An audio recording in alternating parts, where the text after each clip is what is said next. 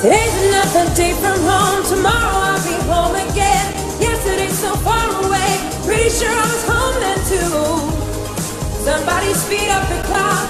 Oh, please let this quarantine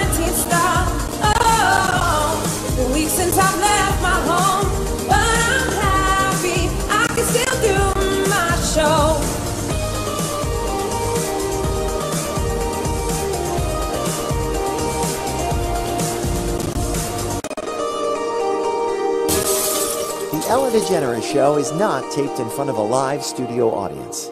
Anyway, here she is now, Ellen DeGeneres. And I said, no. What I would like you to do is go someplace and